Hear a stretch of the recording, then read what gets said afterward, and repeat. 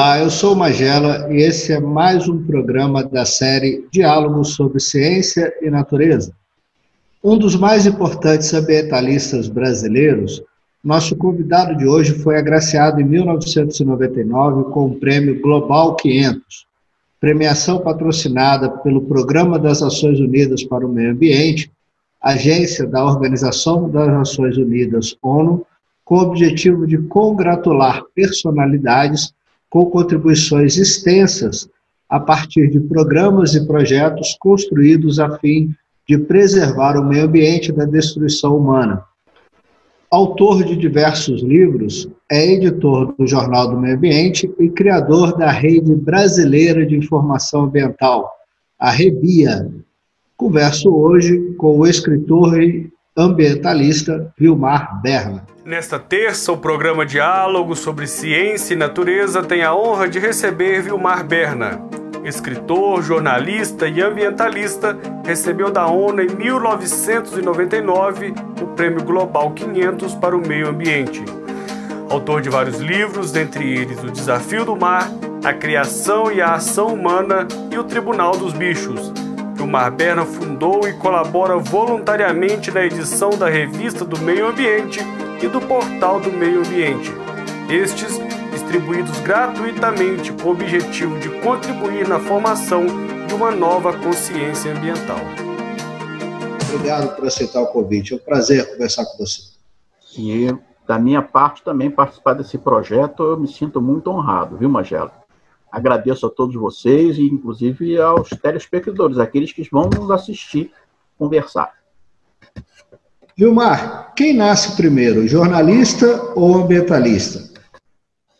Olha, essa é uma pergunta bastante interessante.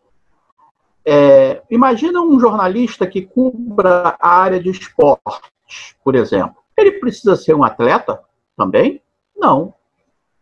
Um jornalista que cubra a área de meio ambiente, ele precisa ser um ambientalista também? São coisas diferentes. O ambientalismo é o exercício da cidadania. E o jornalismo é um exercício profissional de traduzir, transformar informações, buscar os dados. Né? Eu, por um acaso, eu sou ambos. E fui um dos primeiros é, a buscar o jornalismo ambiental, não por um objetivo profissional, mas por um objetivo de cidadania. E aí eu vou discorrer um pouco mais sobre isso. Porque há um momento em que o jornalista atrapalha o ambientalista e vice-versa. Isso é uma coisa interessante. Vou te dar um exemplo. É, na, alguns anos atrás, ainda na ditadura militar, a gente estava tentando entrar na usina nuclear porque aquilo lá era fechado, segurança nacional, plena ditadura. E a gente não conseguia ter acesso, né? E como jornalista não conseguia. E porque a, a segurança nacional não dava informação, nada a declarar, ponto final. Então o que, que a gente, que, que a gente, como é que a gente fez para ter acesso lá? a gente entrou na justiça como ambientalista, aí já não é mais o jornalista, é o ambientalista, entrou na justiça, pedindo ao juiz é, uma para a gente produzir provas antecipadamente para depois promover uma ação ou não, se as provas indicassem que não. Foi o ambientalista que me permitiu entrar na usina nuclear em plena ditadura militar. Foi a primeira vez que isso aconteceu. Então a gente levou depois, fomos com ele na, na especialistas, e aí detectamos uma série de problemas, lixo é, nuclear mal acondicionado, é, é, a radioatividade para o meio ambiente não tinha, mas descobrimos que a água é, saía do sistema de refrigeração é, terciário da usina saía para o meio ambiente 4 graus de temperatura, quando a resolução do CONAMA diz que o máximo é 2. Ou seja, a usina nuclear violava em 100% uma norma do CONAMA. E fomos descobrindo uma série de coisas. Aí entrou o jornalista. O jornalista pegou o que o ambientalista foi lá conseguir e fez, fez matéria e a gente é, denunciou, descobriu que não tinha plano de, de contingência para evacuação de nada. Enfim, isso eu estou falando lá de trás, quase, sei lá, 20 anos atrás. É bom, sim, a gente estava na ditadura. Aí agora eu vou explicar o contrário. Como é que o jornalista atrapalha o ambientalista? Né? Usando ainda o mesmo exemplo do nuclear. Eu já trabalhava como, como técnico na assessorando a Comissão de Meio Ambiente da Assembleia Legislativa e é, uma vez eu recebi um disquete, ainda naquela época do disquete, do passado, aqueles indígenas, né? recebi um disquetezinho dentro de um envelopezinho anônimo e dentro daquele disquete tinha uma prova de raio-x. Você colocava no computador coisa, um monte de coisa de raio-x, eu não entendi nada daquilo. E aí veio uma cartinha onde falava assim: esta prova mostra que a, a solda que está sendo feito no reator dos, da, da Angra 2, porque ela ainda estava sendo construída Angra 2, é, as soldas de alta segurança que eles estão fazendo no reator tá com fissuras. E isso vai. É, imagina quando ligar isso aí, você vai ser uma bomba atômica. Bom, o que, que o ambientalista faria nesse momento? Pô, chamava a imprensa coletiva e isso é um escândalo. Aí entrou o jornalista. Falei, opa, peraí. O que o jornalista tem que fazer? Cotejar informação. Será que isso é verdadeiro? Ou não sei. O que, que, é isso? Eu não conheço isso. Aí, de novo, procurei o Pinguelli, porque é, o maior patrimônio de um jornalista é, é a rede de relações e de informações que ele consegue construir ao longo da vida dele, é, que é uma rede de credibilidade. E, na ocasião, o Pinguelli era a minha referência para tudo de, que envolvesse o nuclear.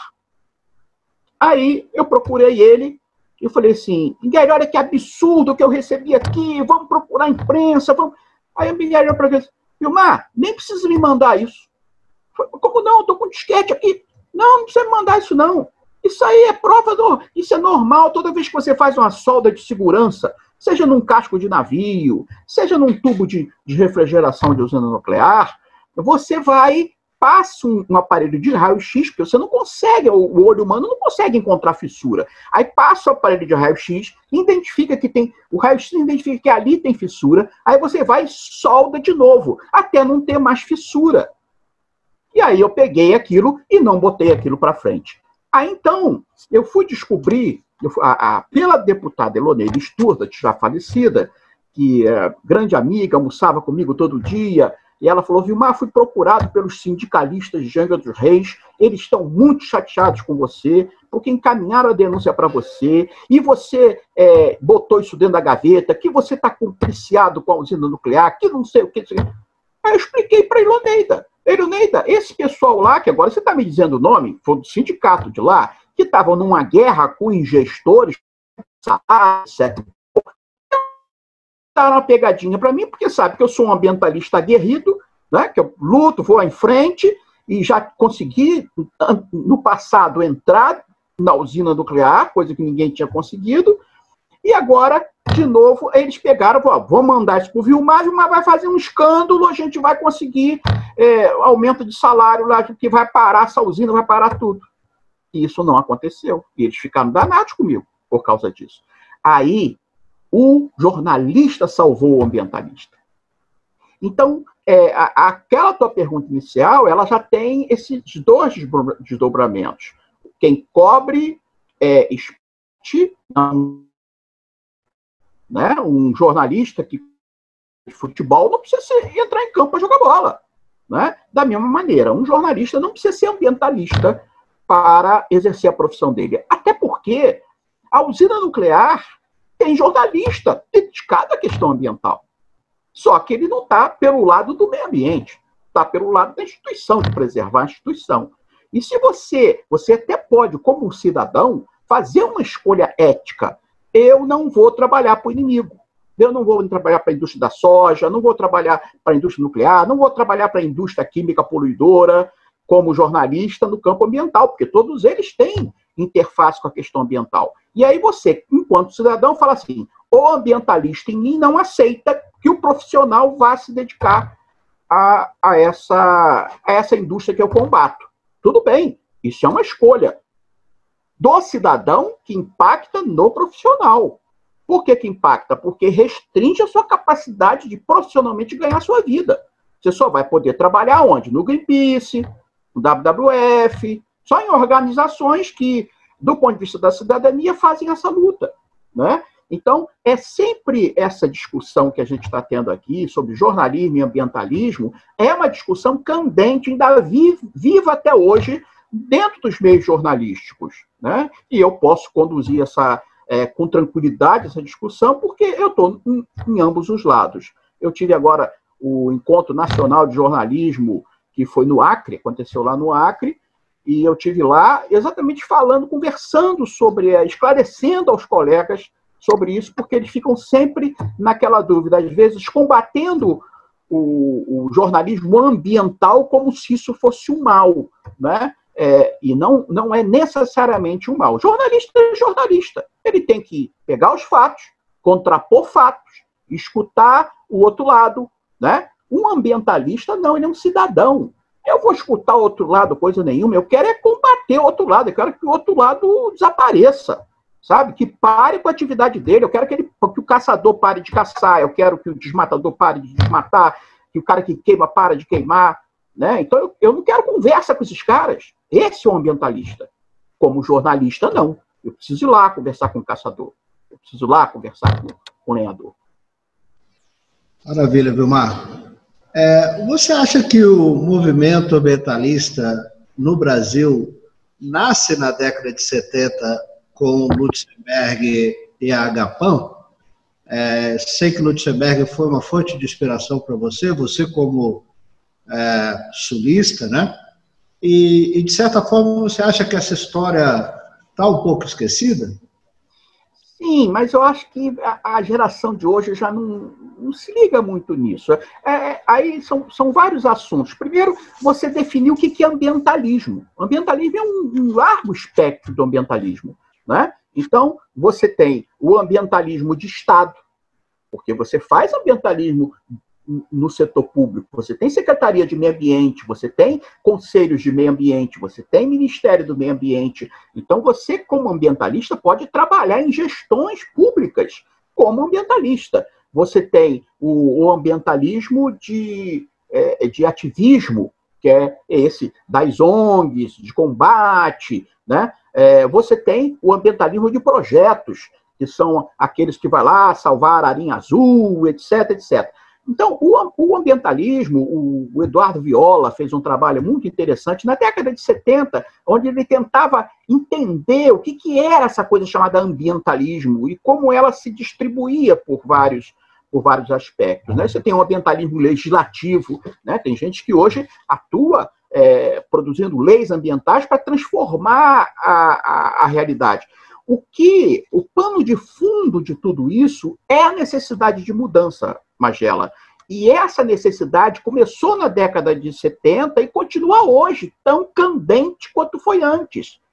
Nós, dessa geração mais passada, os dinossauros ambientais, a gente conseguiu chegar até uma Eco 92, a gente conseguiu o relatório é, do futuro comum, a gente conseguiu sair de uma época onde meio ambiente praticamente não tinha legislação nenhuma, não sei o Código das Águas de 34, para um arcabouço legal enorme. Né? Hoje você tem leis ambientais muito severas, você tem curadoria de meio ambiente no Ministério Público. Eu tive o prazer, junto com o Dr. Pex, criar a primeira aqui no Rio de Janeiro, a cura dentro do Ministério Público, uma curadoria especializada para meio ambiente. Enfim, por quê? Não é porque, eu, é, é, não é porque eu tenho, sei lá, algum mérito próprio, né? Mas é porque eu estou há tanto tempo nessa luta, cara, que é muito difícil você, em 40 anos, não ter aprendido alguma coisa, nem ter sido é, é, líder de alguns movimentos. Né? Eu tive essa oportunidade, da, dentro do meu contexto, de produzir a mudança. E é esse o apelo que eu faço para a turma que está hoje é, chegando, né? é, e, e, e, com esse olhar preocupado com essa questão. Nós temos hoje, Magela, para simplificar, dois grandes modelos de desenvolvimento. Né? Eu estou simplificando, porque existem mais, mas existem dois modelos de desenvolvimento: um modelo insustentável e um modelo sustentável.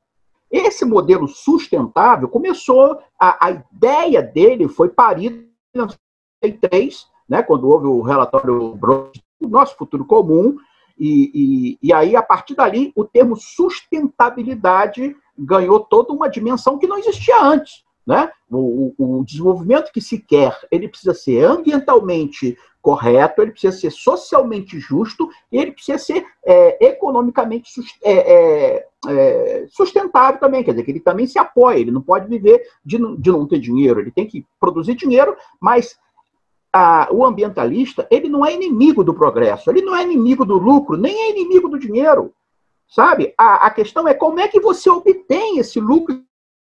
Você obtém destruindo o meio ambiente, você obtém produzindo poluição, você obtém produzindo desigualdade social, onde você não distribui o, o resultado desse trabalho que você está fazendo. Então, esse modelo de desenvolvimento é insustentável, até por uma questão de física. Só a pegada ecológica que a humanidade tem hoje sobre o planeta já precisa de quase que três planetas Terra de recurso. E por que então que você tirando muito mais recursos do, do planeta, você consegue que o planeta ainda consiga so, é, é, é, ir atendendo às necessidades das pessoas hoje? Porque você tem a miséria. Porque tem gente que está pegando menos. A miséria faz parte do modelo injusto de desenvolvimento. Porque se eu tiro mais do planeta, porque eu tenho poder, por alguma razão, enfim, poder de Estado, poder de meio de produção, é, e eu estou tirando muito do planeta, é, por que, que eu posso fazer isso? Porque quem está tirando muito pouco ou se beneficiando muito pouco é, desse desenvolvimento não está reclamando, ou não está podendo reclamar. Entende? Então, a miséria, a pobreza, embora na, na palavra das pessoas seja algo que deva ser superado, na prática da economia das instituições, ela é um algo desejado por esse modelo de desenvolvimento.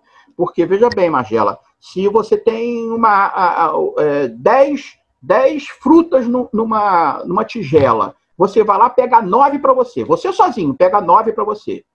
E, e, e, o resto das pessoas tem que pegar aquela fruta que sobrou e dividir entre eles. Isso só é possível porque a maioria que está pegando essa única frutas que sobrou, não está reclamando de você ter pego sozinho as nove primeiras. Então, o modelo de desenvolvimento ele depende que a miséria é, e que a pobreza existam, permaneçam e, e se introjete na cultura das pessoas, de tal forma que as pessoas comecem a achar que quem pode pegar nove frutas é porque tem mais mérito, é porque trabalhou para isso, e quem só tem que dividir uma com um monte de gente é porque não se esforçou, é porque é preguiçoso, é porque não trabalhou decente, não quis estudar, sabe? Então, ô, ô Magela, a, a, a questão ambiental ela tem uma dimensão social muito integrada, tanto é que uma coisa não separa da outra, na minha opinião, né? É, e nós temos, então eu estou me referindo ao modelo que precisa ser mudado. Ele ainda não foi mudado, Magela. Ele ainda é o modelo que está dominando hoje no mundo. Embora, do ponto de vista das utopias para um novo modelo, isso já começou em 83, né? quando houve a, a, o desenvolvimento da ideia mundial da sustentabilidade. Depois houve, aqui no Rio de Janeiro, a Eco 92, Onde eu queria, Zumar, desculpe de interromper, mas eu queria exatamente entrar na década de 80 agora com você. Foi quando a década que você se dedicou mais especificamente ao, aos movimentos de, das ONGs, na época que você criou a Univerde, criou Defensores da Terra, e ah, militou mais no, nas ONGs, né? Você acha que a década de 80 foi o grande, a grande década do despertar do interesse público pelas questões ambientais? E depois a gente chega na década de 90? É bom, é bom você falar de contexto, mas deixa eu só terminar a minha preleção. Ah, É, por que, que é importante a gente continuar? Por que, que é importante a gente não perder esperanças sobre a causa ambiental? Administrações públicas vêm e vão. Uma é melhor, outra é pior, uma avança, outra retroagem. Isso, isso acontece. É do jogo democrático, a alternância de poder. Então, eu não vou ficar aqui desesperançado porque a atual gestão é muito ruim para o meio ambiente. Porque a gente teve avanços antes e vai ter avanços de novo. Se a gente tiver cidadãos imbuídos desse processo de mudança e que não perca nem essa esperança, nem só utopia de que a gente deve abandonar o modelo insustentável de desenvolvimento e injusto e deve abraçar um modelo sustentável. E aí, toda vez que você fala sustentável, você tem que perguntar: sustentável para quem, cara pálida? Sustentável para todos, para as gerações que estão aí e para as gerações que não estão, mas que já vão depender do como é que a gente está lidando com o recurso hoje. E não só para a espécie humana, porque nós não somos uma ilha. A gente não consegue sobreviver sem as demais espécies, mas também para garantir a biodiversidade eh, e as outras espécies. Daí a importância do conhecimento, porque se você conhece os ciclos da natureza e os limites que a natureza tem, você compreende que nem tudo é recurso para o desenvolvimento. Por isso as unidades de conservação, por isso a faixa marginal de proteção, por isso a proteção de nascentes, por isso as áreas de preservação permanente em topo de morro, a margem de rio, etc e tal. A natureza, ela, ela tem limites, ela não pode ser explorada ilimitadamente. E se a gente destruir esses mecanismos naturais de ação, a gente vai comprometer a sobrevivência de nossa própria espécie. Porque o planeta, ele não está nem aí. Essa, essa, essa coisa, a poluição, degradação. Um, um simples vulcão Magela, produz mais impacto ambiental que todas as atividades humanas juntas. E o planeta resiste. O planeta já passou por mais de seis extinções em massa. Isso é pinto. O planeta não está sob risco nenhum, não.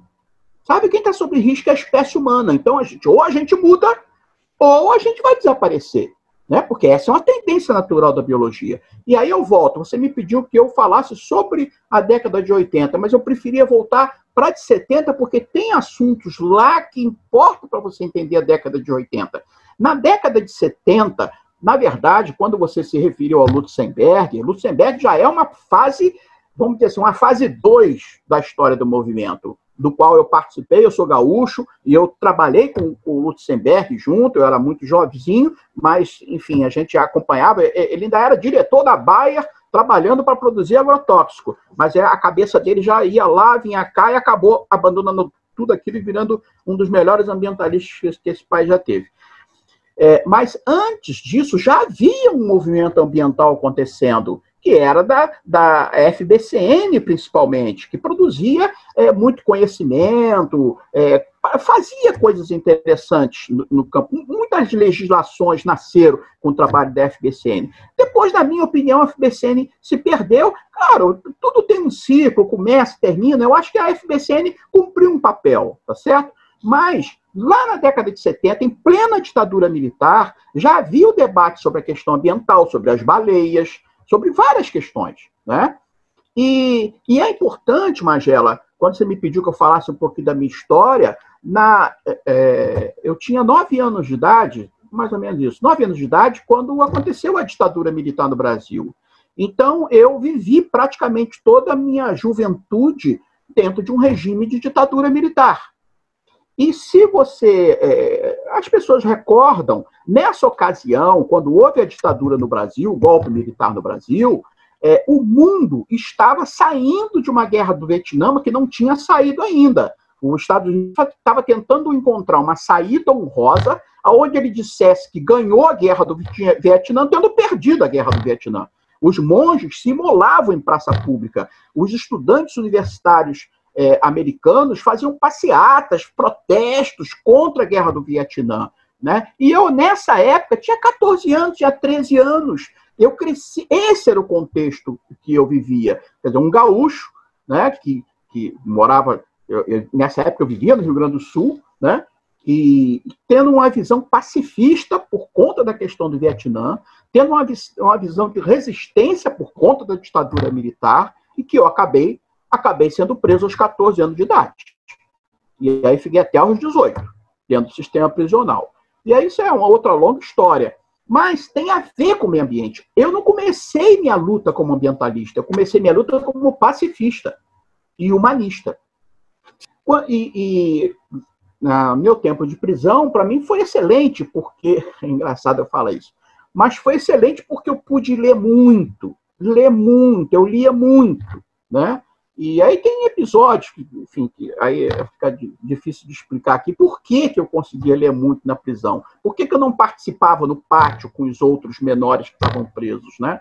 É, enfim, é, é porque eu, eu, eu, descobri que a solitária era castigo. Então, quando você se comportava mal, você ia para o castigo, que era solitária. E, e, na solitária eu tinha acesso à biblioteca. Então, eu falei, esse aqui é meu lugar. Né? Com Lutzenberg, a luta ambiental começou a tomar um aspecto um pouco mais de ativismo, mas não perdeu o aspecto é, acadêmico. Né? Com a FBCN, a, a, a, luta ambiental é praticamente acadêmica, não, não tinha movimento na rua. Com Lutzenberg, ela começou a ganhar um aspecto mais de ir para a rua, de, de movimentar massas. Mas é só mesmo lá para o final de, de 85 por aí é que o, o movimento ambiental começou a ganhar esse aspecto ativista, voluntariado, das pessoas irem para a rua protestar, etc. Né?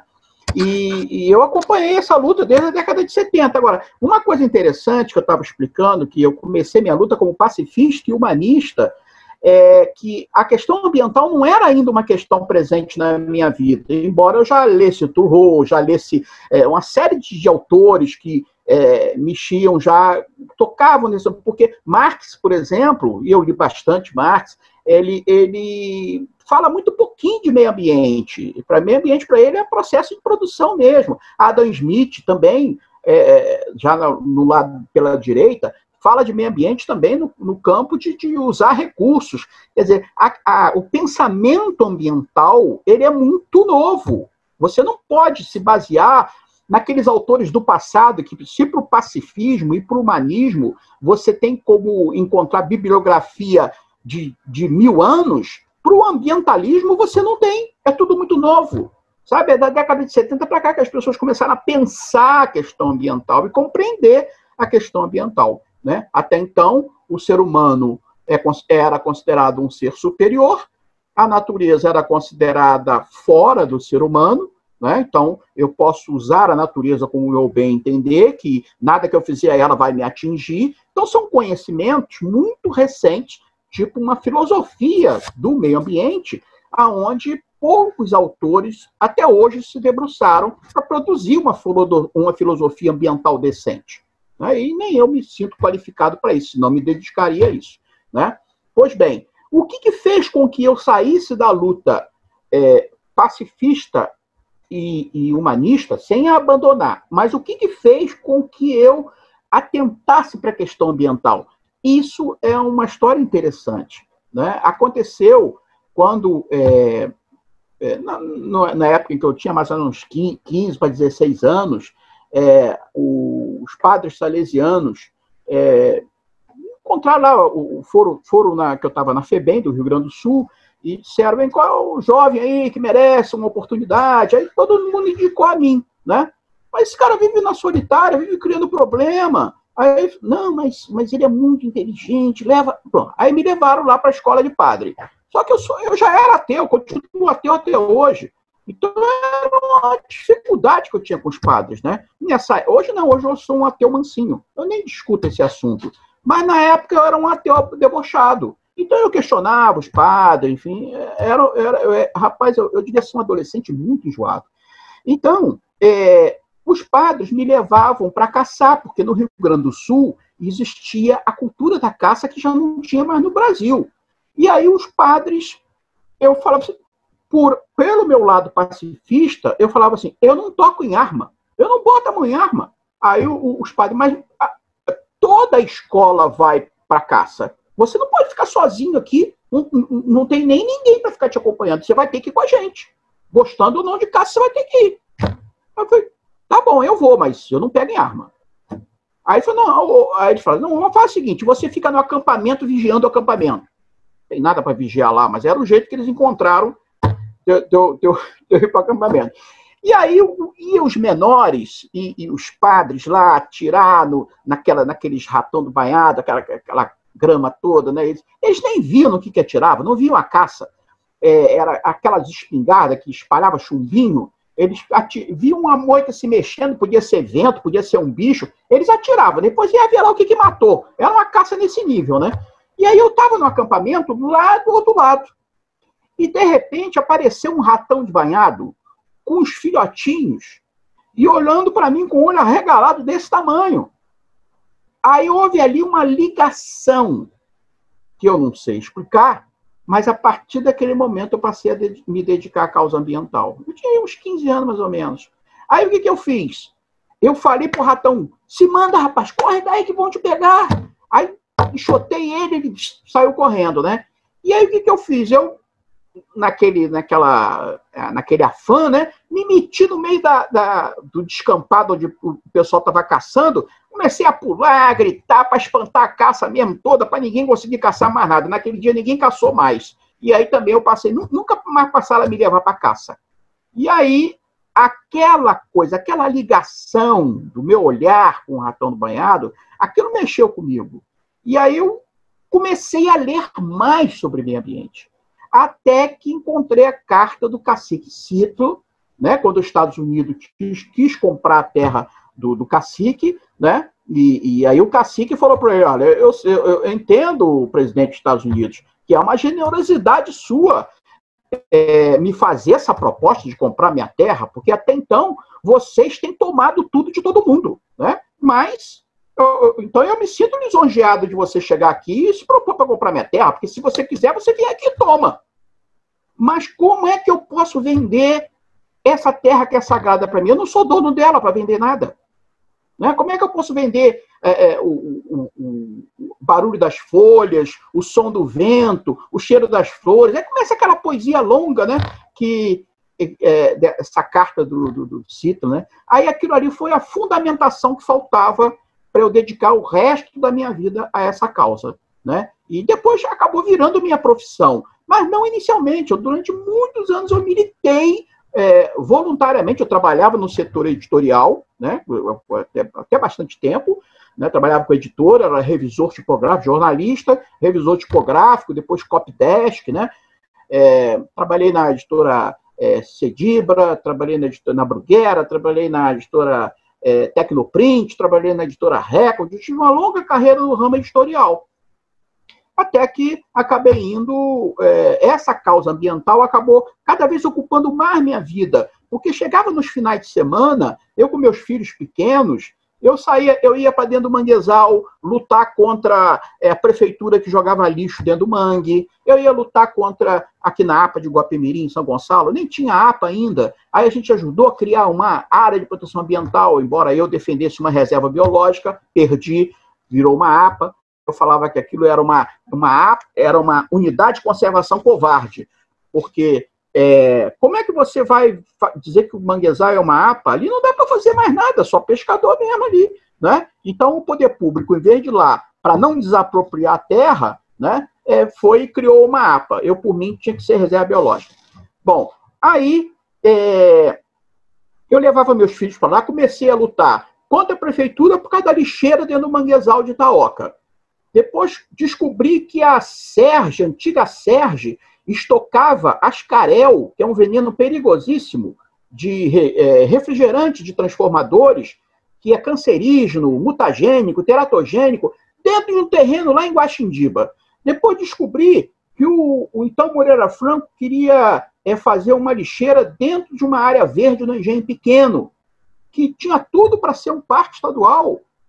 Então, a, a, luta começou a se desdobrar de tal maneira, e aí eu comecei a receber as ameaças de morte, porque isso é natural. Quando você começa a, nadar contra a corrente, né, quando você vai contra o status quo, esteja certo, você vai ser perseguido. E eu comecei a ser perseguido. Né? E, mas num, num, num, por, por, por, sei lá, é, por resiliência, ou talvez por uma certa estupidez mesmo da minha parte, do tal tão comprometido com o meio ambiente eu estava, que eu nem percebia é, a minha vida. Aliás, Chico Mendes, que foi meu colega de Global 500, viveu isso também, né? Tão comprometido ele estava com a causa que ele defendia lá, que falou assim, mas Chico, você tá, vai morrer. Bom, então eu vou morrer, porque eu não vou parar de lutar. Então tem esse aspecto da questão ambiental. Nós, por exemplo, só para é, ilustrar mais isso ainda, como é, que, como é que chega o nível do comprometimento pessoal com a causa, né, que é uma coisa que só mesmo quem tem consegue compreender. Nós tivemos um, um foi um contemporâneo meu, enfim, é, o Francelmo, lá no Mato Grosso, ele um lutador pela, pela, pelo Pantanal, eu fui lá várias vezes para lutar junto com ele na questão do Pantanal, e o governador queria botar usina de álcool no Pantanal, ou seja, aquele chorume, tudo aquilo ia acabar com o Pantanal. É, aí ele se imolou na praça. Você sabe o que é se imolar? Por causa daquela experiência com os, os monges budistas que se imolavam né, tocavam fogo em si, morriam protestando contra a guerra do Vietnã, o Francelmo é, fez a mesma coisa aqui no Brasil, e isso não conta na história. A história ambiental ignora isso. Né? Alguns dizem que o Francelmo tinha depressão, coisa nenhuma. Como é que o, o cara com depressão era um guerreiro ambiental? Se levantava todo dia da cama para ir brigar pelo meio ambiente? Né? Disseram que, que ele é, se suicidou. Suicidou coisa nenhuma. Ah, existe uma diferença grande entre se molar e suicidar. Ele fez um ato de protesto ali, né? E aí a gente depois eu fiz questão de voltar lá com a viúva dele, com o filhinho dele, e, e chamei a imprensa e para deixar claro, gente, vamos parar com essa história de depressão e de suicídio. Houve aqui um ato político, público, de protesto, em que um brasileiro se molou em defesa do Pantanal. Né? E aí a gente conseguiu reconstruir a história que estava toda mal contada lá no, no, no Mato Grosso. Pois bem, é, esse engajamento ambiental começou a me dar ameaças de morte. E eu falei, bom, eu preciso criar uma organização para que ela passe a ficar à frente, não um Vilma Berna, e sim uma organização. Aí cheguei aí é, na, no Rio de Janeiro, comecei lá por Ipanema, que existia a Covida, porque isso é uma outra coisa interessante também de lembrar. Na década de 70, 80, a gente não, não tratava de um movimento ambiental, tratava de comunidade alternativa, como, tratava de um outro jeito alternativo de ser. Não era só no meio ambiente, era, era na educação, era na saúde, era, era em tudo. Então, a gente propunha um outro modelo de desenvolvimento que não era nem dentro do campo da sustentabilidade, mas era no campo de uma sociedade alternativa. Então, a gente, eu ajudei a fundar em Ipanema a Cooperativa da Vida, né, que a gente tratava de educação ambiental, de vários assuntos. Mas eu estava em São Gonçalo, que é um lugar extremamente pobre, aonde eu precisava adequar o ecologês às carências da população sabe? Então, em São Gonçalo, não era sobre planta e bicho que eu tinha que falar, era sobre esgoto, era sobre a, a, o problema social, era, enfim, era, era outros assuntos. Ali o ser humano era o, o quem estava sendo mais agredido ambientalmente, né? Então, com isso, a gente fundou a Univerde, né? É, que existe até hoje ainda, né? E com, com o passar dos anos, enfim, a gente conseguiu várias vitórias, né? É, eu consegui, inclusive, que a Fazenda do Colubandê, que vocês devem conhecer, um dos prédios históricos mais importantes do Brasil, que inspirou Oscar Niemeyer a fazer o Palácio do Planalto, aquelas colunas, foi ali da Fazenda do Colubandê, aqui em São Gonçalo. E a gente, eu fui ao Moreira Franco, que era então governador, e consegui criar o Batalhão Florestal, né, que foi uma luta nossa. E aí o Batalhão Florestal foi criado ali e ocupou a Fazenda do Colomandê por mais de 20 anos. E o, o, Fernandes, que foi o último comandante, na época ele era aspirante, é nosso amigo hoje de grupo de WhatsApp. Né? É, depois disso, isso tudo se desdobrou, se criou delegacia de meio ambiente, de polícia de meio ambiente, a curadoria do Ministério Público, que eu já falei com o doutor Peterson. Então foi muita luta de muitos anos, sabe? E aí eu fui chamado para o Rio de Janeiro para dar uma assessoria ao, a, ao Carlos Mink, então, que era o presidente da Comissão de Meio Ambiente da Assembleia Legislativa, para ajudar a produzir leis na área ambiental. Foi aí que eu me desliguei profissionalmente da minha função de jornalista no ramo editorial e passei a me dedicar, então, exclusivamente à ecologia. E aí fui trabalhar, passei quase 10 anos trabalhando na Assembleia Legislativa, fiz mais de 40 leis nesse estado, claro, é, é assinado pelo MIN, algumas pelo MIN, outras pelos deputados da Comissão de Meio Ambiente, só para citar uma das leis, é, entre as 40, portanto, é muita história, né? É, eu ficava muito chateado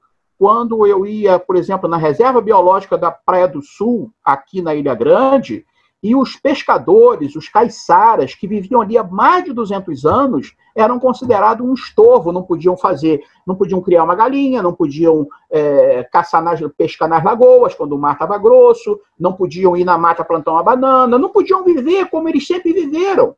A reserva biológica chegou muito depois deles. E reserva biológica, vocês sabem, é a unidade de conservação mais restritiva que existe. Então eu achei aquilo de uma injustiça, porque eu não quero defender o meio ambiente e as leis ambientais passando por cima do direito das outras pessoas. Porque se você faz isso, você pressupõe que os seus direitos podem ser desrespeitados.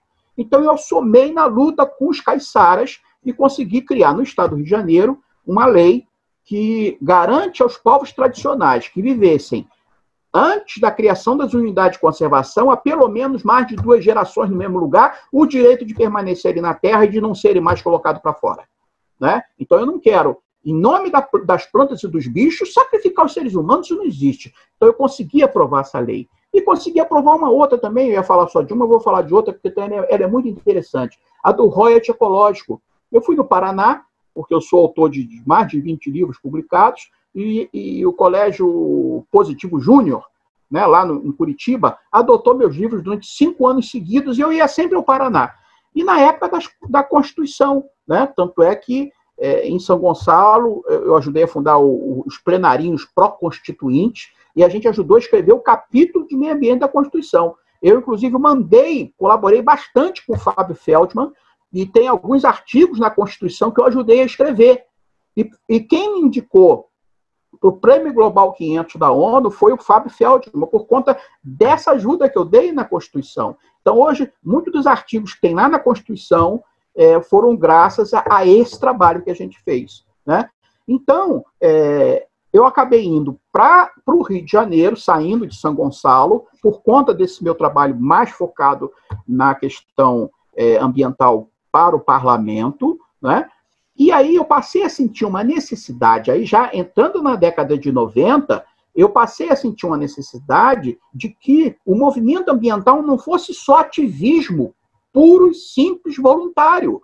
Ou a gente tinha uma capacidade de ganhar dinheiro, assim, de montar projetos para poder se equipar melhor, ou a gente não iria muito à frente. Então, eu montei o chamado Projeto Terra Alerta, que depois acabou é, sendo abraçado pelos defensores da terra, né? aí junto com vários companheiros ambientalistas. Defensores da Terra é uma ONG que existe até hoje também. Eu fui o primeiro presidente, né? o Mink era o vice. E, e, a gente criou o projeto Terra Alerta, que era basicamente equipava o ambientalista com carro, combustível, equipe técnica. É, nessa época a gente contratou o Mário Moscatelli para dar suporte na, na área de manguezal, contratamos vários, vários especialistas para nos dar suporte. Né? Depois é, a gente com, comprou decibilímetro para mudar a poluição sonora. Aí fomos ali na PUC, naquele prédio da PUC, aquele minhocão que fica em cima da, da é, a, a autoestrada que passa embaixo, né?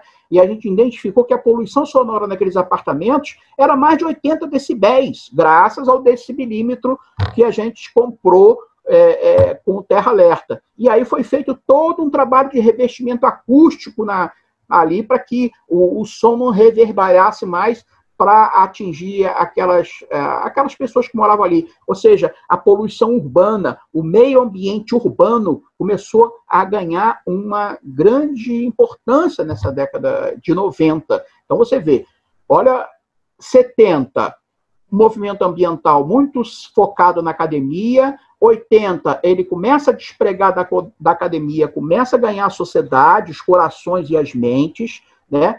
É, 90, aí a gente já está saindo da ditadura, já está vivendo é, épocas democráticas, há um fortalecimento da sociedade civil organizada em várias áreas, não foi só na área ambiental, na área do, do combate é, é, ao racismo, na área do, do, do, combate à violência contra a mulher, enfim, várias coisas. Esses anos 90 foi realmente um grande boom para a cidadania ambiental no Brasil. E as, já entrando nas novas décadas, a gente começou toda uma linha nova de ambientalistas se profissionalizando, né, é, para que suas ONGs tenham dinheiro, para que eles possam é, contrapor informações que o Estado produz e que às vezes não são verdadeiras, são tendenciosas. Então você precisa saber, os números de desmatamento são verdadeiros? Claro que não são. Então, você, como é que você sabe que não é? Porque você tem organizações hoje que têm recursos para ir lá. O, o Mário é, Mantovani, que você é, entrevistou para esse mesmo programa, o Mário, ele, a SOS Mata Atlântica é um bom exemplo disso. Hoje ela produz informações de alta qualidade que os próprios, próprios organismos públicos vão na SOS Mata Atlântica buscar informação sobre georreferenciamento, é, sabe, imagens de satélites. Então, isso só se tornou possível porque o movimento ambientalista ele abraçou a questão profissional. Então, veja bem, isso não é um processo histórico evolucionário da luta ambiental. Você continua tendo o ambientalismo na academia, como tinha na década de 70, você continua tendo um ambientalista hoje de empresas, né, uma Natura, uma empresa que eu diria que é uma empresa de ambientalismo. Né? Hoje você tem ambientalismo nos próprios governos, com ministérios, Secretaria Meio Ambiente, etc. e tal, tem todo um arcabouço.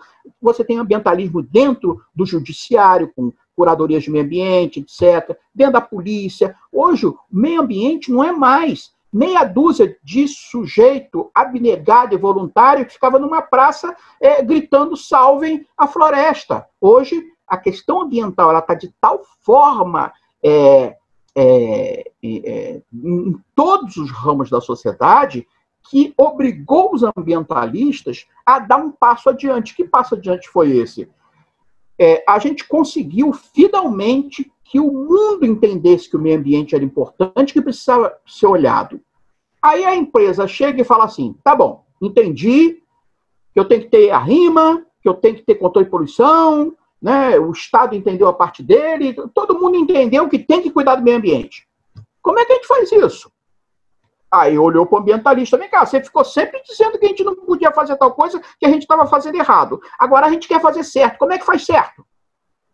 Ah, como é que você produz é, de maneira sustentável? Como é que você recupera uma área que foi degradada? Como é que você recupera um solo contaminado? Então, o ambientalismo sentiu necessidade de se capacitar, de buscar conhecimento e se capacitar, tanto do ponto de vista profissional, de engenharia ambiental, que, que se criou, é, é, enfim, a, todas as carreiras ambientais, a, a, a, própria, a própria biologia, que sempre foi uma biologia é, mais voltada é, para esse setor, o jornalismo, hoje tem o jornalismo ambiental, tem curso na PUC de jornalismo ambiental. Então, é, não só do ponto de vista acadêmico, mas do ponto de vista da sociedade civil organizada, ela também se, sentiu necessidade de organizar projetos, buscar recursos para poder produzir um vídeo como o que a gente está fazendo, pra, até para que a sua voz possa, possa ser mais ampliada e ganhar a sociedade. E aí a gente chega na década de 90 e eu dei aquela parada e falei, bom, é, eu não preciso mais insistir com as pessoas, não preciso mais entrar no meio de um campo para espantar caçador. É, onde é que eu posso ser mais útil? Né? Onde é que eu posso contribuir mais, já que eu não posso fazer tudo, né? E aí nasceu a Rebia. Foi aonde que eu. Essa era a pergunta que eu ia te fazer agora. Aí você chega em 1996, cria a Rebia, e eu ia te perguntar exatamente isso. Isso foi uma mudança de estratégia? Exatamente. Primeiro, eu não cheguei na Rebia primeiro. Eu primeiro fui para a educação ambiental. Como eu te falei, eu sou autor de vários livros. Inclusive, eu escrevi Como Fazer Educação Ambiental, que virou um curso à distância na UF né? E escrevi vários livros na área de meio ambiente. E, é, mas eu Aí, senti. Vamos tocar nesse assunto daqui a pouquinho também. Vamos. Eu, eu senti o seguinte: que, na verdade, não é de meio ambiente que a gente está falando. A gente está falando de mudança civilizatória. É isso que, que, que diz respeito.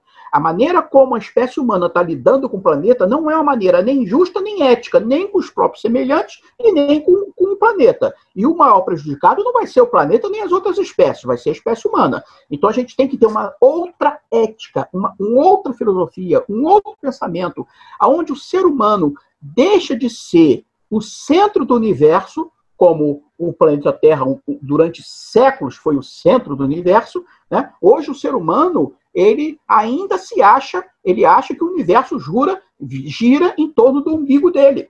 Né? Então, ele acha que tudo que existe é recurso para o seu desenvolvimento, que a natureza não tem nenhum direito em si, que as outras espécies não têm nenhum direito em si. Tudo está subordinado ao direito humano. Só isso. Ninguém mais tem direito. Isso não é verdadeiro, porque a espécie humana não consegue sobreviver sozinha.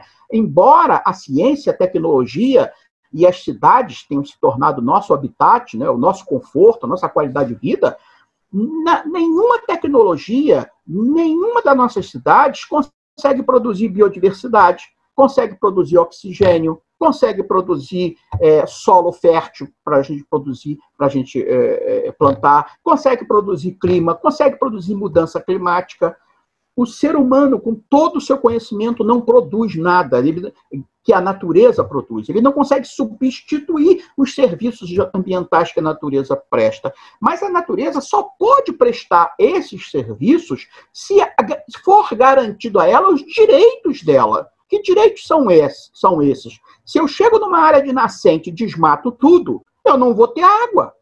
Porque o ciclo das águas depende da, da de que haja re, é, preservação ambiental nas nascentes, margem de rio, para que a água possa ser usada por todos nós. Senão o ciclo das águas vai pegar essa água doce que veio das chuvas, vai jogar direto no mar, ela vai ficar água salgada, ninguém aproveitou ela, vira salgada de novo.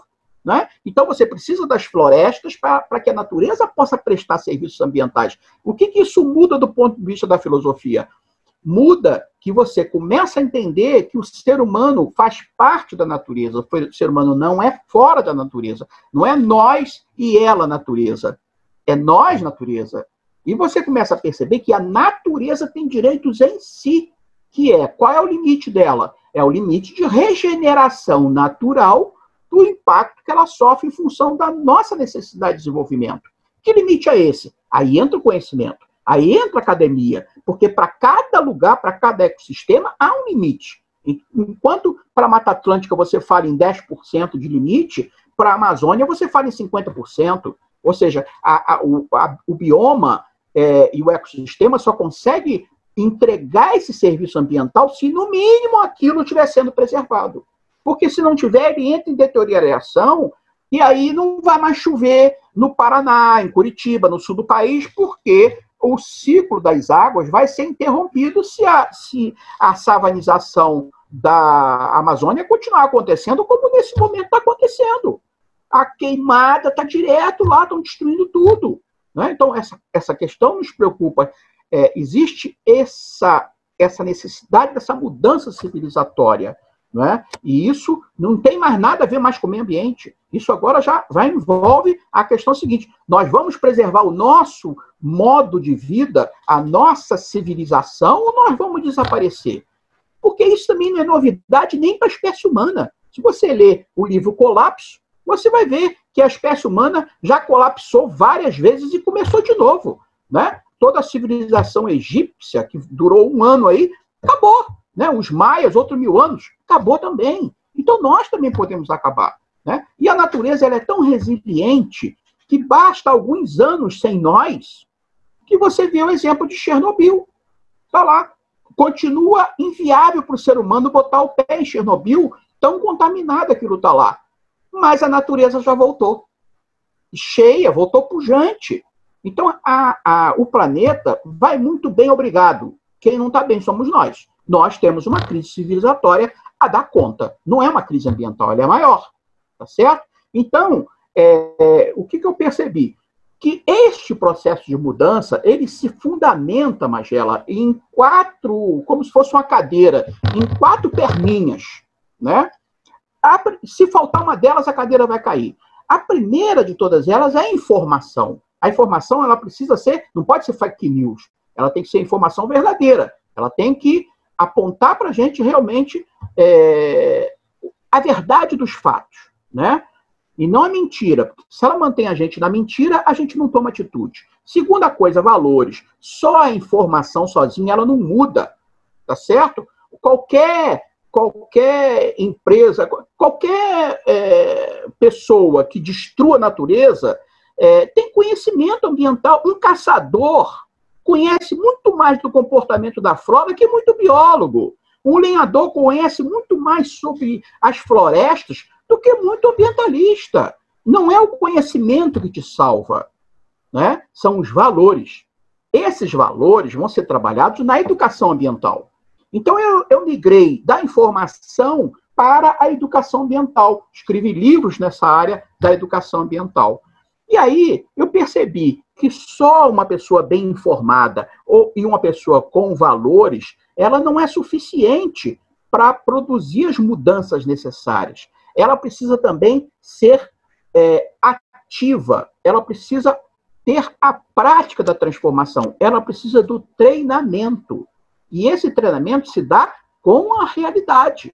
Né? Então, o, o Magela, é, o que a gente percebe é que não é um processo fácil.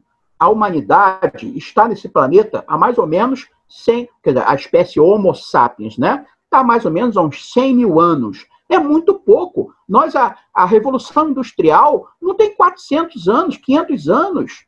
Nós somos muito recentes no planeta. Essa é que é a verdade. Então a gente ainda não aprendeu uma porção de coisa. Só que a gente agora, por causa do nosso estilo de vida predatório, a gente está precisando apertar o passo, está precisando ganhar, acelerar esse processo de mudança, para dar tempo para que haja planeta para essa geração e para as próximas. Porque senão a gente vai produzir um colapso antes disso. Entende? Então, é, não basta você ser mais bem informado, não basta você ser mais bem educado, não basta você ser mais ativo você precisa também, aí vem a quarta perninha, você precisa ganhar as outras gerações, porque a nossa luta não é a luta de uma geração, é uma luta que precisa engajar outras gerações nesse mesmo, é, vamos dizer assim, nessa mesma paixão, nesse mesmo engajamento, seja no campo profissional, seja no campo do voluntariado, seja é, é, em todos os ramos hoje que o conhecimento tem, mas você precisa informação de qualidade, você precisa educação ambiental para te dar valores, que só a informação sozinha não muda as coisas.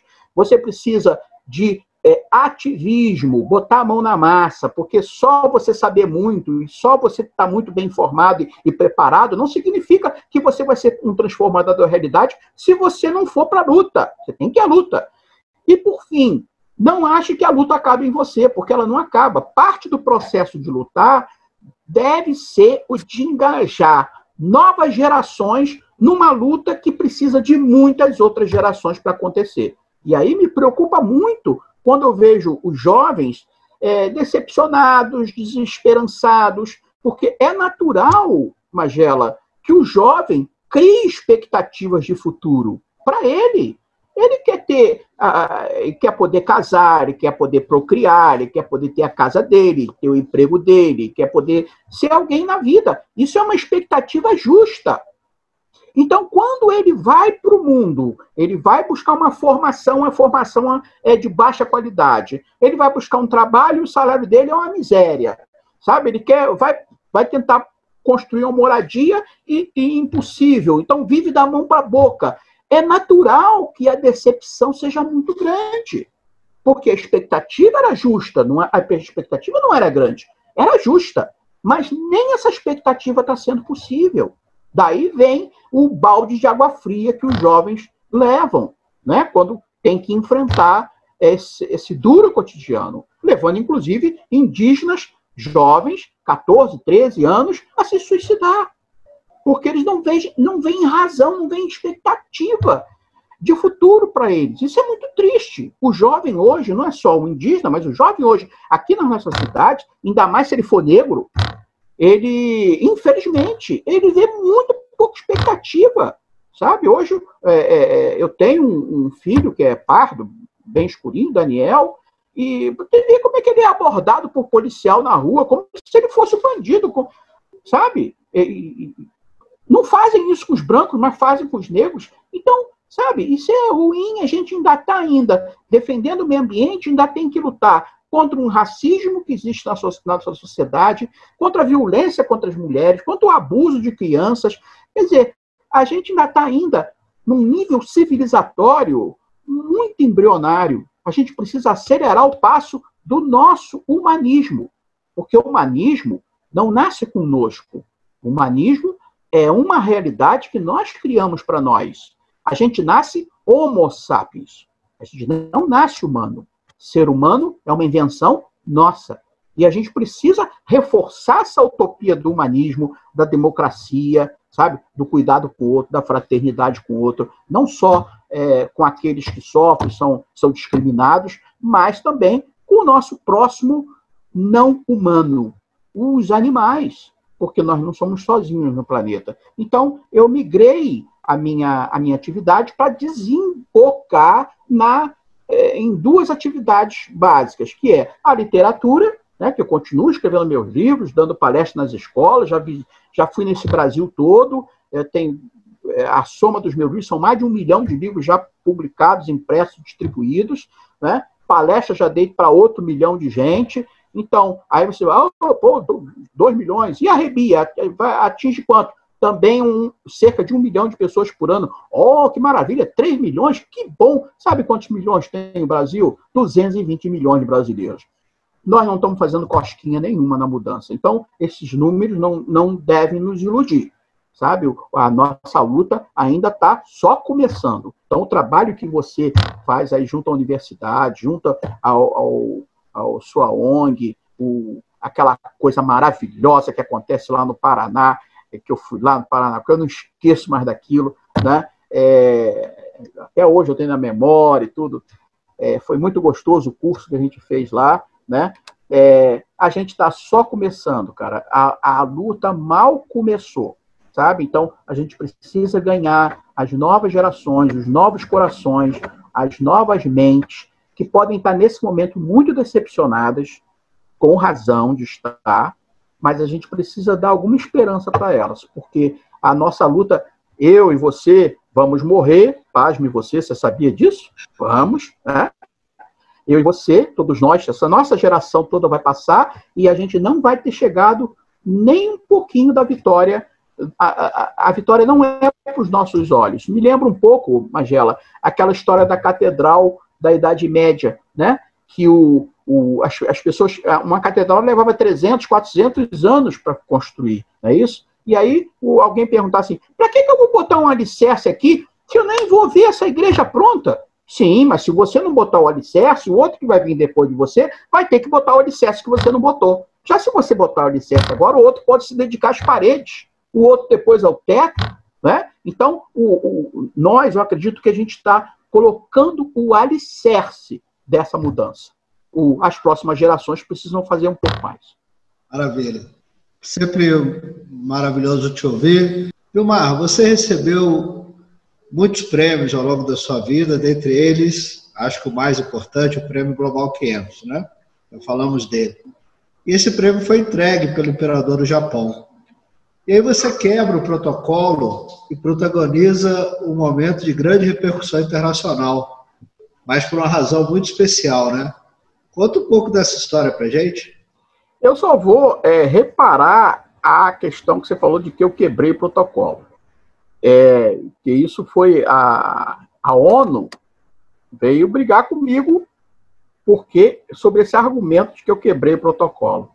E eu, eu argumentei com eles o seguinte: veja bem, se vocês não querem é, passar constrangimento, é, não deem prêmio para o ambientalista. Porque ambientalista ele é guerreiro. O ambientalista ele se move porque ele é apaixonado por uma causa. Antes das mãos é, de um ambientalista se moverem, suas pernas, é, o coração dele já está comprometido na causa. Então, ele não vê é, limites é, na, na sua é, na luta, na sua luta, né? Então, veja bem, eu fui convidado pelo governo do Japão para ir lá receber o prêmio Global 500, que me honrou muito, porque é muito legal você ser reconhecido pelos seus pares, pelas pessoas que vivem junto de você ainda em vida, né? receber as homenagens é, em vida pela sua luta. É, é, é, é uma coisa bacana e eu fiquei muito, muito feliz com esse reconhecimento. E são, são quase 200 países na ONU. Então não foi uma coisa assim de uma pessoa, foi, é o mundo inteiro dizendo, apontando o dedo assim, Vilmar, pô, muito legal o que você faz. Pois bem, e o que, que eu faço? Resistência ambiental, é isso que eu faço. Né? Aí eu cheguei lá no Japão, eu não sabia que eu ia falar com o imperador. E achei que é só receber o prêmio, uma homenagem lá, alguma coisa assim. Quando me falaram que eu ia estar com o imperador, aí a tradutora, ela falou para mim assim, mas, é, Vilmar, você não, não pode falar com o imperador. Né? Que, eu falei logo assim, opa, ótimo, então eu tenho algumas questões para tratar com o imperador. Aí ela falou, não, você não pode falar com o imperador. Você sequer pode olhar para o imperador. Né? história é essa? Aí eu, eu falei para ela assim, ó, vem cá, vamos entender o seguinte. Eu não estou na minha casa. Eu estava muito bem lá na minha casa no Brasil. Vocês me convidaram para vir aqui. Eu vim, com todo gosto. Não cobrei nada para estar aqui. É... Aí vocês dizem que eu vou estar na casa do meu anfitrião. Isso é muito legal. Eu vou ser recebido por ele. Isso é bom pra caramba. Mas eu não posso falar com ele. Eu não posso nem olhar para ele. Eu acho isso um desrespeito comigo. Eu acho um desrespeito com a minha pessoa. Ou, vocês não entendem nada de Brasil, ou vocês não entendem nada de humano. Aí a, a, mocinha botou a mão na cabeça assim: Meu Deus do céu, mas você vai, você sabe que eu vou perder meu emprego. Você vai falar, você não pode falar com ele. Pois eu vou falar com ele. Aí ela falou assim: Mas eu não posso traduzir suas palavras, porque só os tradutores juramentados da Casa Imperial podem traduzir o que o imperador fala.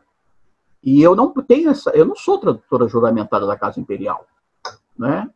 Eu olha, eu entendo a sua situação, mas eu tenho um outro comprometimento maior. Eu estou no Brasil nesse momento, numa campanha, a gente estava lá, é, enfim, com as organizações aqui do Brasil, é, numa campanha contra o Japão que estava no Comitê Internacional de Baleias, querendo aumentar a cota de caça anual de baleias dele de 167 baleias.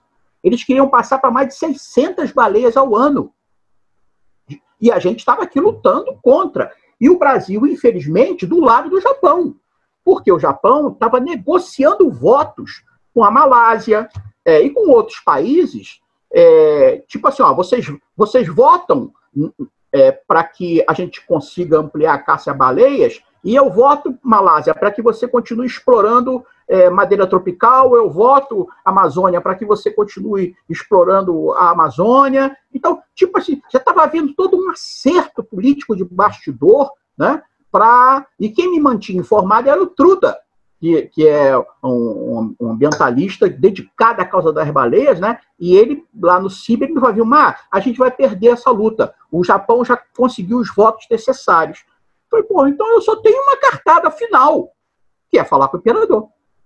E você acha que eu vou deixar escapar isso? Se quiser, nem me dá o prêmio, não. Eu não estou interessado em prêmio.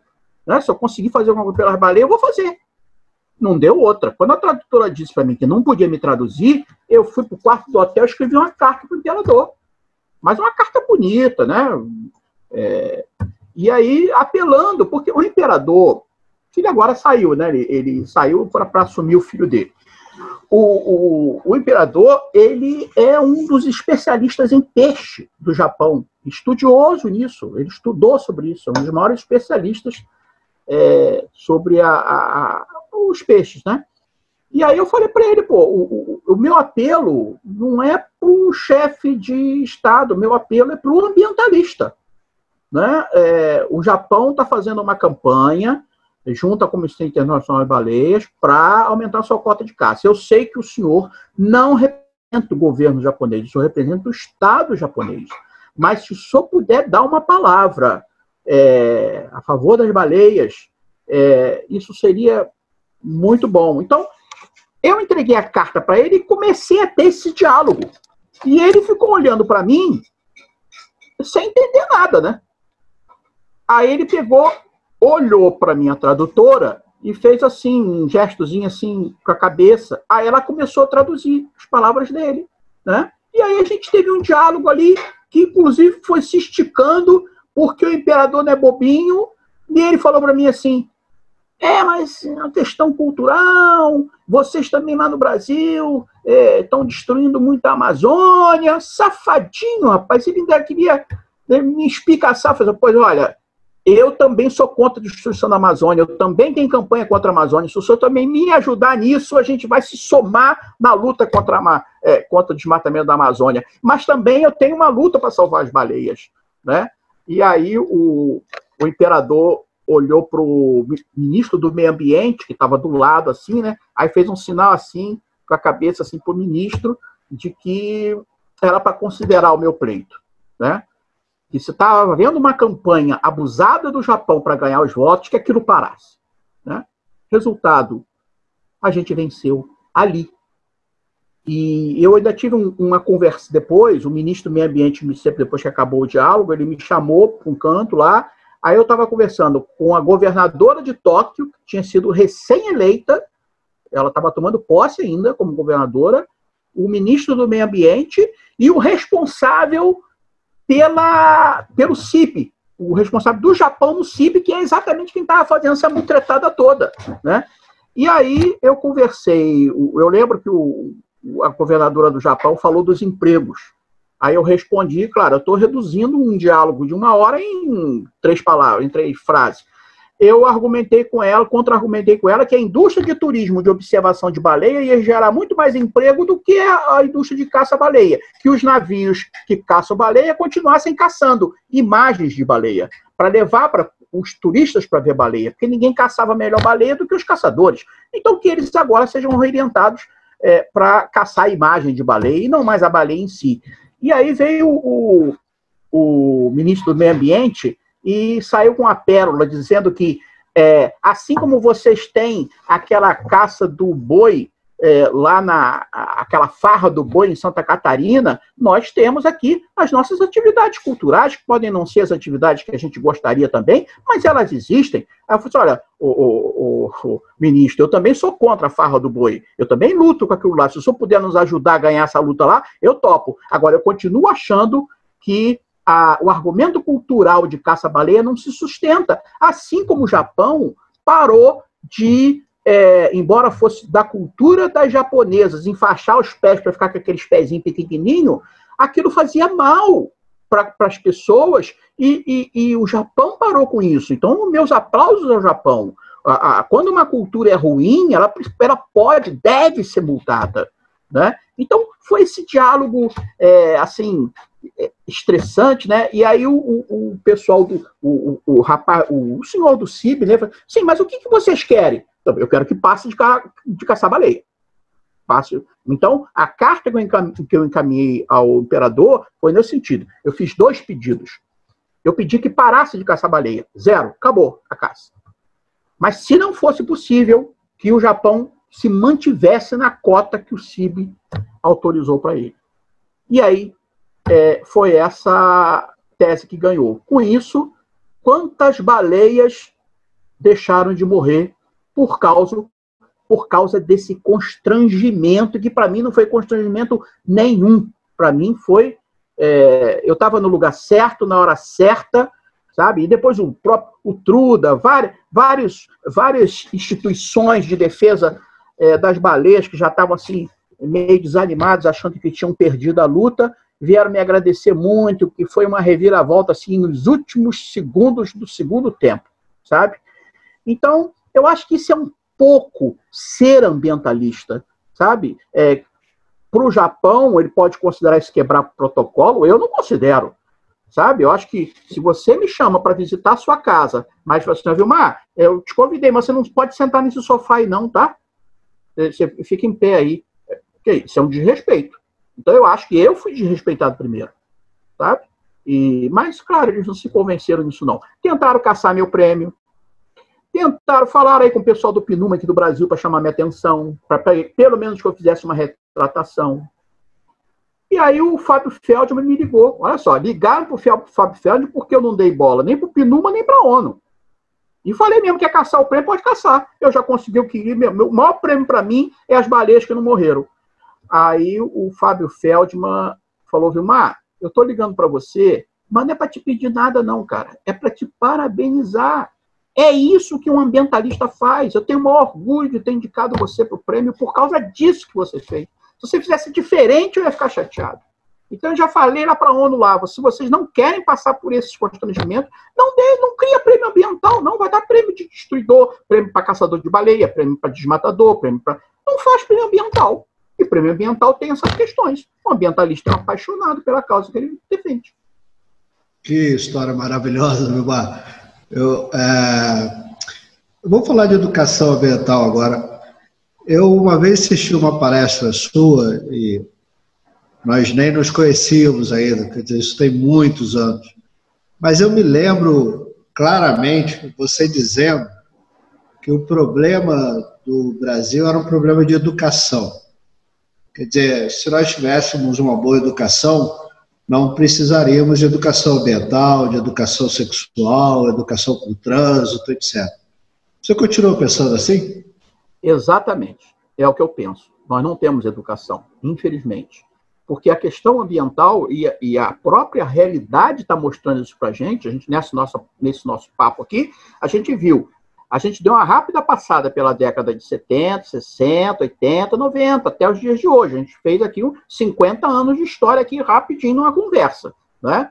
Então, é, quem acha que eu sou muito prolixo, me desculpe, mas eu acabei de falar de 50 anos aqui em menos de uma hora. Então, é, é, realmente, se eu não for prolixo, a gente não vai conseguir se entender. Né? Olha o quanto a gente evoluiu do ponto de vista do pensamento ambiental, a ponto de hoje é, tem alguns ambientalistas que defendem que não tem nem mais que ter Ministério do Meio Ambiente. O meio ambiente não precisa de um ministério para si, porque é, o, o ambiente, o meio ambiente, tem que estar em todos os órgãos da gestão pública sabe? A, a educação, na educação, na saúde, na agricultura. Então, a rigor, meio ambiente pode ser só um birô técnico ligado ao prefeito, ligado a, a, com consultores técnicos, é, ligados às universidades, aonde o, o, secretário de águas e esgoto de, de uma prefeitura ou o ministro é, é, de infraestrutura urbana é, da presidência da República, né, é, vai lá e apresenta uma demanda, olha, eu estou com esse problema ambiental aqui, como é que eu levo saneamento para tal lugar, como é que eu faço tal coisa, é, e ali vai passar por uma área frágil do ponto de vista ambiental, e aí contrata lá a universidade, contrata especialistas para dar a solução. A rigor, você não precisa mais nem de uma gestão ambiental, é, não que você não precise do gestor ambiental, mas você não precisa de ter um lugar, um departamento para para onde eles tenham que ficar. Por quê? Por que, que essa questão ela é importante? Porque quando você compartimentaliza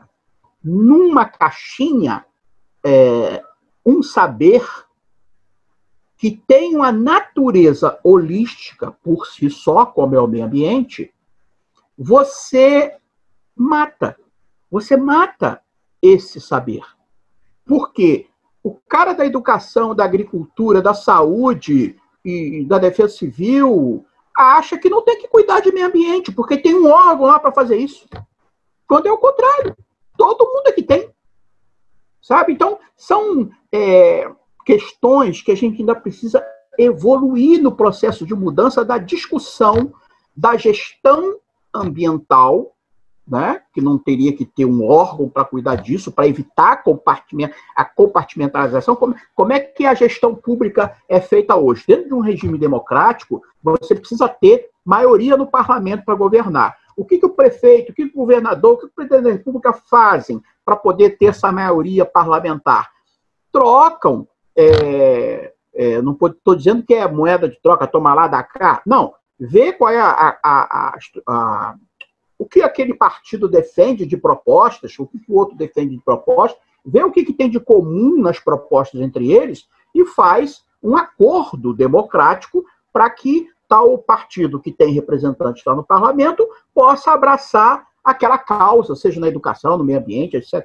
Então, acaba aquele partido indicando alguém para aquela caixinha da administração. E esse é um problema, porque aí você fica com o partido A cuidando do meio ambiente. Partido B cuida de educação. Partido C cuidando de. E aí eles não se falam, porque são todos competidores entre eles pela atenção e o voto do eleitor. E aí, o, o, mesmo que você, no meio ambiente, queira fazer um trabalho holístico dentro da administração, você tem dificuldade, porque você vai procurar o sujeito da saúde ou, ou, ou da educação, e o cara não quer nem te receber, porque ele não é do teu partido, ele vai botar azeitona na tua empada, por quê? A não ser que você bote azeitona na empada dele. O olhar passa a ser não mais do interesse público, isso do interesse partidário. Isso acontece na democracia. Então, eu acho que o meio ambiente, ele foi muito, assim, foi correto a apropriação dele numa caixinha, mas por, porque antes ninguém queria saber de meio ambiente. Então você precisou criar uma caixinha, um quartelzinho, uma fortaleza. Agora a gente precisa derrubar os muros dessa fortaleza. Agora o meio ambiente precisa entrar em todos os saberes de uma gestão pública. E aí eu volto para a educação. Eu acho que quando você compartimentaliza educação para o trânsito, educação sexual, educação ambiental, é, educação é para a vida.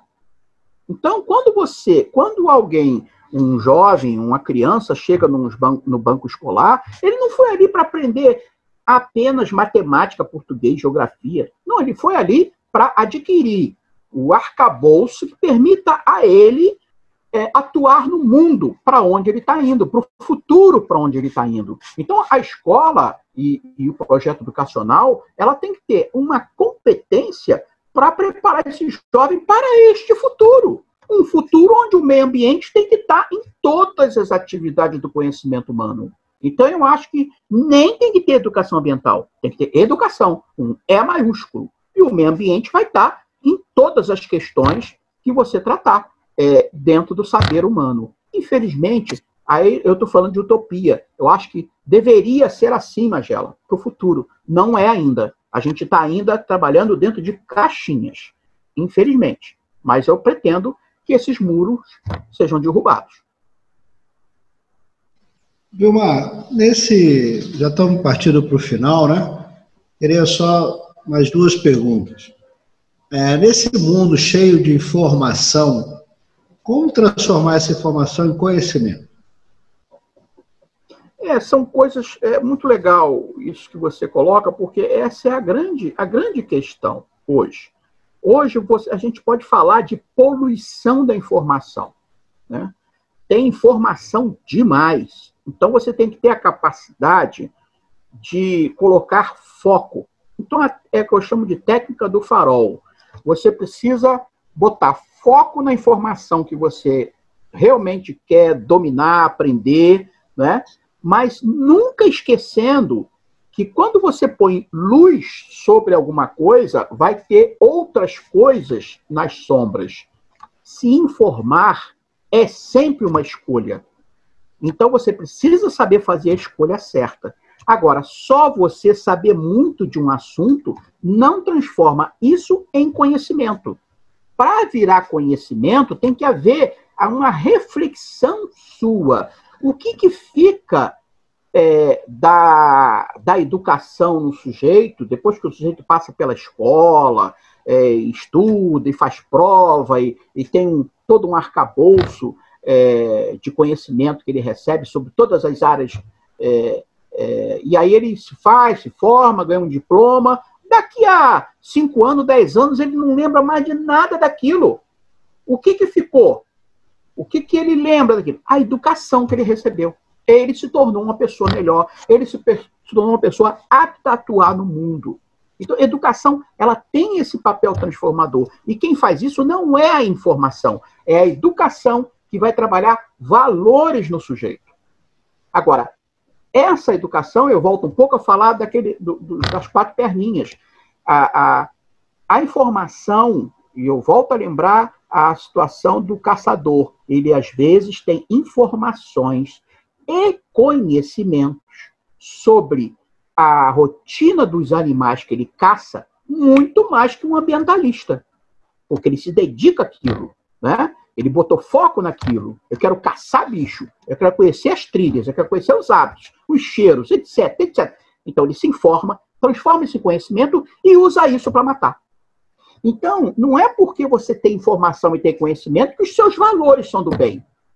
Né? Bom, lembra aí, o, o, todo o nazismo que nós tivemos aqui, houve inteligência, houve conhecimento e houve informação para os nazistas assassinarem 11 milhões de pessoas, construir fornos crematórios, construir bombas.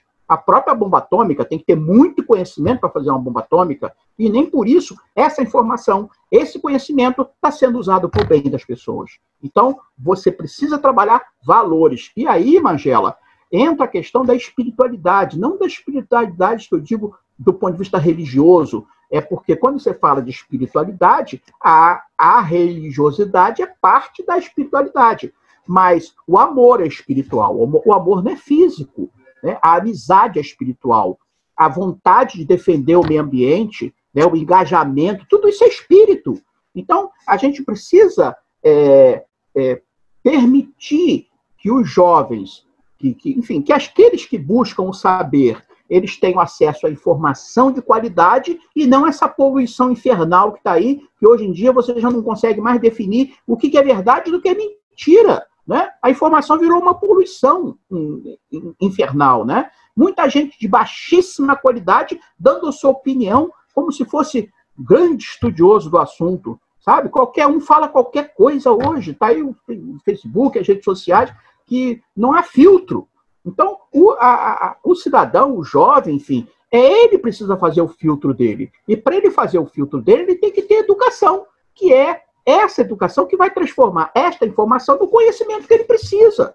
Senão, é, é, vai ser só mais informação. Ele vai ficar um grande papagaio repetindo informação, mas sem conhecimento algum.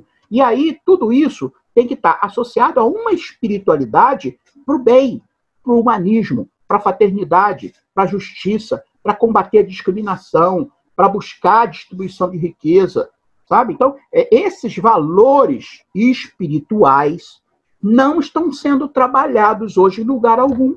Porque quando você fala de espiritualidade, as pessoas associam a religiosidade e a religião cuida cada uma, a evangélica, o bandista, a, a, a, a católica, cada uma vai puxar a brasa para sua sardinha para fazer a, a, enfim, conseguir os seus fiéis, vender a sua verdade, né? Mas não tem ninguém trabalhando o humanismo, a fraternidade. Isso, a rigor, teria que estar sendo trabalhado em casa, sabe? E, e muito nas práticas, porque você chega lá e fala assim, o filhinho, você não pode bater no coleguinha lá na escola, não, nem assim. Você, você tem que dialogar. Se, se, você não consegue ter diálogo com ele, procura uma terceira parte, procura direção, procura professora, né? Mas você não pode dar um soco na, no seu coleguinha. Aí o, o, esse menino vê a mãe é, espancando o pai, vê o pai espancando a mãe. Quer dizer, o que eles falam não combina com, com a prática deles. E o jovem hoje, ele se orienta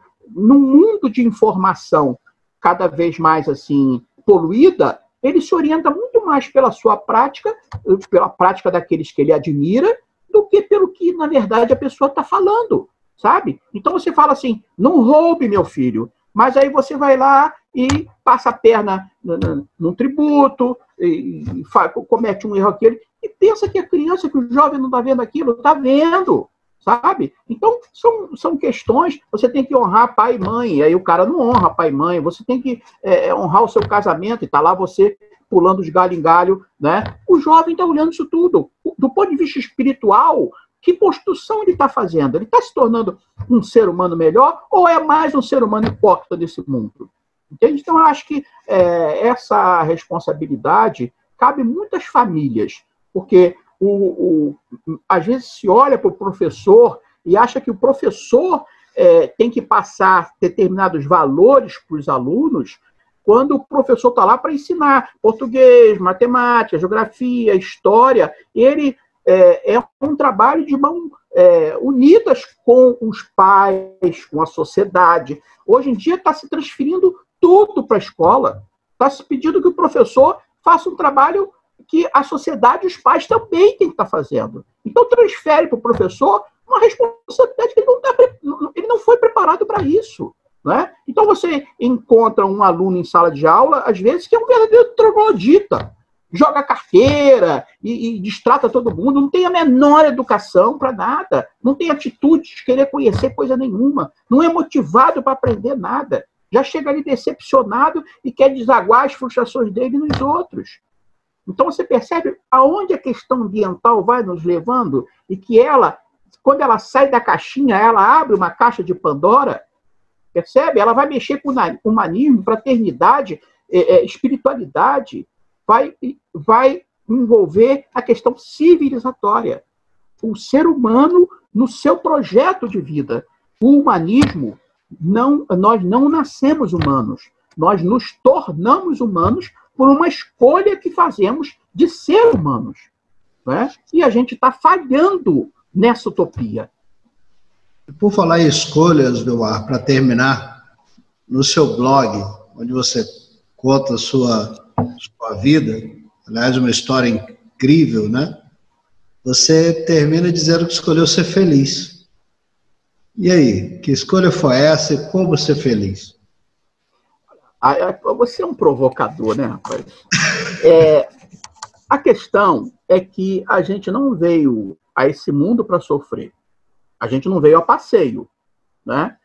E isso envolve uma questão de você refletir qual é a nossa missão aqui. Há um propósito. Olha a questão da filosofia.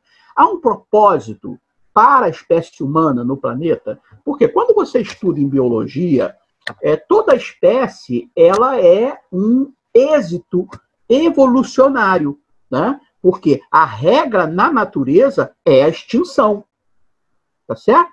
Nós das espécies que a gente conhece, elas não representam nem 1% das espécies que já existiram. 90% já se extinguiu, né? Então, a extinção é a regra. Aqui é muito simples. Escreveu, não leu, desaparece, né? É, não existe na natureza uma, um sentimento, é, um, um, valor moral ou ético na natureza. Isso não existe. Isso existe em nós. Aí você pode provocar e falar assim, mas peraí, você não falou que nós somos natureza, a natureza somos nós? É... Pois é, mas então você não me faz pergunta. Nós temos cinco minutos, tá? Desculpa. Ah, tá. É, você me faz uma pergunta complicada, como é que faz para ser feliz? Me dá cinco minutos. Pô, aí o que, o que, acontece? É, existem, existem, de uma certa maneira, um propósito, sim, que é o de ser bem sucedido na sobrevivência sobre o planeta, bem sucedido na adaptação ao planeta.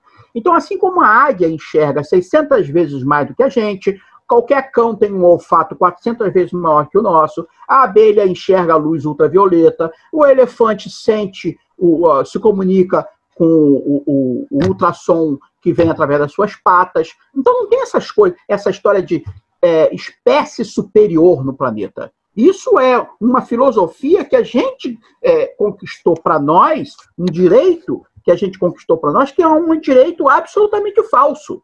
Né? Nós temos uma superioridade, sim, que é a da consciência. A consciência existe no macaco, existe em várias outras espécies, mas nenhuma tão evoluída a ponto de você poder fazer escolhas que te liberte dos instintos. Então, o instinto age em nós, mas nós somos resultado das nossas escolhas. E aí eu vou me encaminhando para a pergunta provocadora que você fez. Qual é a nossa escolha em relação à nossa existência? A nossa escolha é tentar corrigir os erros que a gente vem praticando no planeta, inviabilizando, tornando a vida das outras espécies um inferno e transform... nós somos o inferno das outras espécies. E nós somos infernos para nossos próprios semelhantes. Nós estamos tornando a vida de muita gente uma miséria, uma pobreza. Nós, quando eu digo nós, eu digo é, a humanidade em si. Mas até aí é importante lembrar isso, né? A, quando a gente fala nós, humanos, estamos destruindo, nós, humanos, preste atenção nisso, não é nós, humanos. Porque a responsabilidade por escolher não é igual para todos. Então, eu não escolho agrotóxico, eu não escolho matar baleia, eu não escolho um monte de coisa, eu não escolho explorar, eu não escolho ser racista. Então, eu não escolho uma porção de coisa.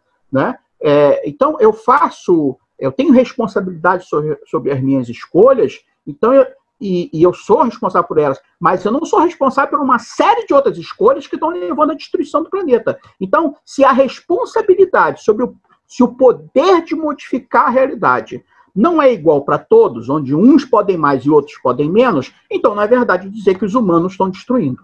Tem uma parte de humanos fazendo isso. E tem uma parte, uma grande maioria, tentando fazer o certo, fazer o bem. Então, nós somos animais morais. Nós sabemos distinguir o bem do mal, os outros animais não sabem. Nós somos éticos. Nós criamos regras de comportamento para nós.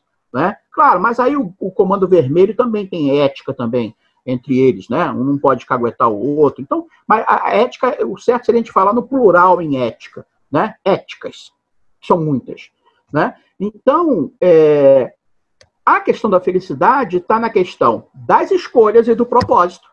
Né? Nós temos a capacidade de escolher. Um animal não pode escolher ser feliz ou infeliz. Nós podemos. Isso é uma característica nossa. Agora, a gente não veio ao mundo a passeio. No mínimo, a gente tem que consertar o que a gente está fazendo de errado. No mínimo. Porque a gente também não tem que ter arrogância de achar que a gente é melhor que 5 bilhões de anos de evolução da natureza. E que a gente veio aqui para consertar alguma coisa que a natureza não fez direito. Claro que não. Mas por que, que em nós a natureza se tornou consciente? Isso é uma questão de filosofia. Por quê? Porque em nós ela passou a perceber que ela é natureza. Porque até então ela não tinha esse conhecimento. Se nós somos natureza, em nós, nos humanos, a natureza se tornou consciente de si própria. Por quê? Com que, com que critério? Só da gente sobreviver melhor? Né? Então, o que, que a gente vai fazer com a nossa existência? Além de dedicar ela a consertar o que a gente está fazendo de errado. Mudar o modelo de desenvolvimento, por exemplo.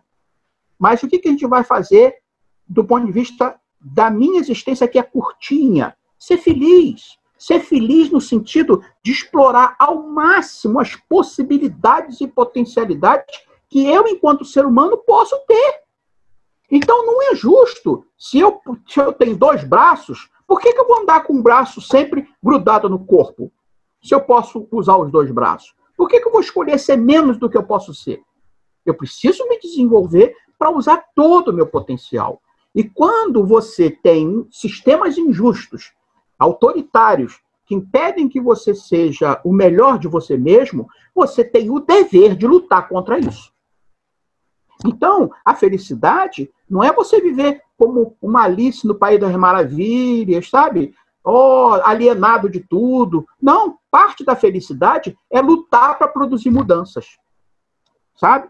É, para que você possa construir um mundo melhor para você e para os outros, incluindo nos outros, os não humanos. Eu considero isso uma vida feliz, considero isso ser uma vida boa. Maravilha, que honra, que prazer, que felicidade, que privilégio ouvir você, Vilmar. Agradeço muito esse tempo que você dedicou aqui a, a esse projeto, né? É um atrevimento meu tentar te entrevistar, né?